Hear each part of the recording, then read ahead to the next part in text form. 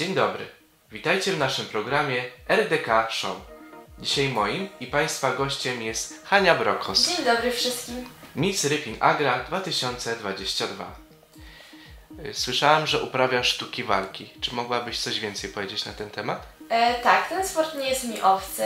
E, jakiś czas temu uprawiałam karate przez 6 lat. E, przerwałam ten sport na poczet MMA i dalej je trenuję i kontynuuję e, w Brodnicy Fight Team MMA Brodnica. A jak często masz treningi i czy to ciężki sport do uprawiania? E, bardzo ciekawy, wiążą się z nim wiele wyrzeczeń. Treningi mam w Brodnicy trzy razy w tygodniu. Są to zazwyczaj takie do dwóch godzin treningi, e, zarówno parter, jak i stójka oraz sparingi. A czy zdarzają się kontuzje albo na przykład jakieś tutaj e, czy siniaki, otarcia? E, siniaki otarcia to codzienność. Czasami jak się wstaje, zastanawiam się, co akurat będzie mnie bolało po sparingach. E, a z kontuzji to kiedyś złamałam tylko kość ogonową, a tak to na szczęście nic się nie dzieje poważniejszego. Ale też masz e, inną pasję. Czy mogłabyś coś jeszcze o tym opowiedzieć nam? E, tak, e, jazda konna, ale to tak bardziej rekreacyjnie, niekoniecznie na zawody, bardziej z takiej pasji, kontaktu i miłości do zwierząt. A co daje Ci właśnie ten sport jazda konna?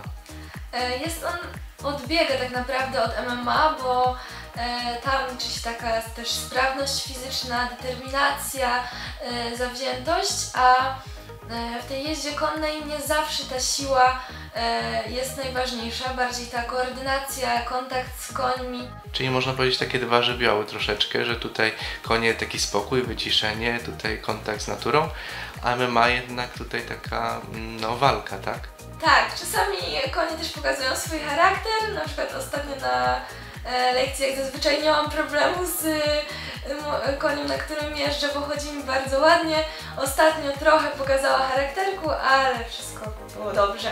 Nie spadłam, także najważniejsze. Także tutaj nie ma otarć. Nie. Utrzymałaś tytuł Miss Agra 2022.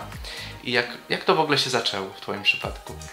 No, zaczęło się na pewno od pana Andrzeja, który tutaj organizuje wszystko i pilnuje, który długo namawiał mnie do startu w wyborach, ja nie byłam tego pewna, ale pod namową bliskich, głównie rodziców, e, zdecydowałam się, że może być to jednak fajna przygoda, mimo tam jakichś wątpliwości i naprawdę nie myliłam się, serdecznie polecam.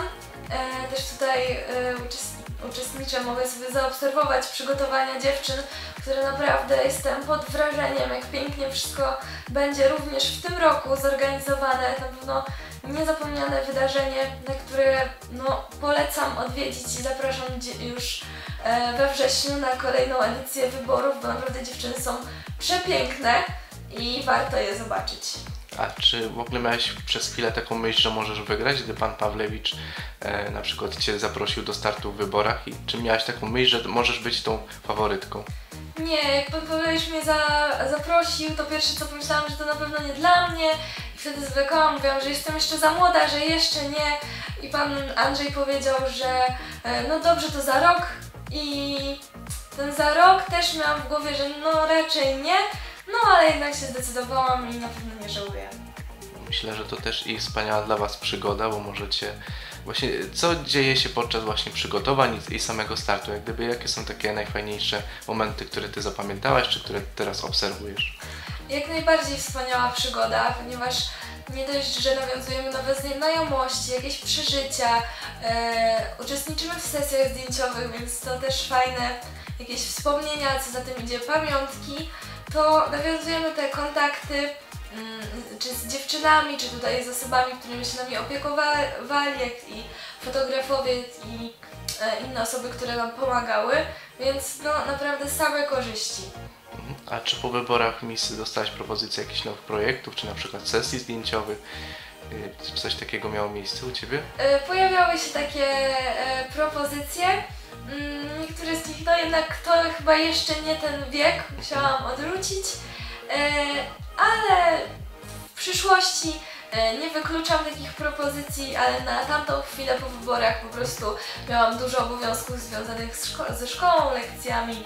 Tak, czyli na wszystko musi przyjść czas. A czy na przykład planujesz jakieś inne wybory mis gdzieś na przykład szerzej e, w województwie, czy, czy, czy tak jak e, pokazały to poprzednie edycje, że były też finalistki z Rypina, finalistki już ogólnopolskie. E, tak, mamy tutaj e, bardzo dziewczyny z, właśnie po wyborach Miss w Rypinie zaszły bardzo daleko, nawet na wybory ogólnopolskie z Miss, to naprawdę już wielki sukces. A co ja zrobię, czy wystartuję, to czas pokaże, nie nastawiam się jeszcze na nic, a jakieś plany w głowie możliwe, że są. Czy te wybory będą naprawdę warte obejrzenia?